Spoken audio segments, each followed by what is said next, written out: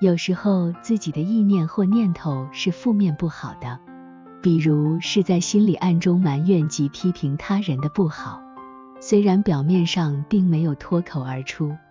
但这其实已经产生了不好的意业。所有平时真的要好好的注意自己的起心动念。今天看到了一个故事，苏东坡和佛印和尚的小故事。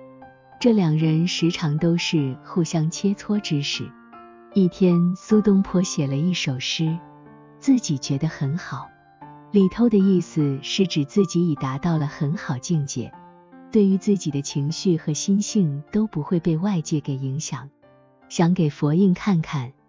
心里想着应该会被称赞，结果打开信来，发现了只写放屁的评语，一时火气上来，特地越过江去找佛印，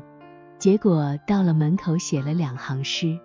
一指不是已经到了高境界了，怎么为了一个屁而特地跑来这里来理论？虽然有些道理我们理解，但是并有没有在日常生活中活用活练？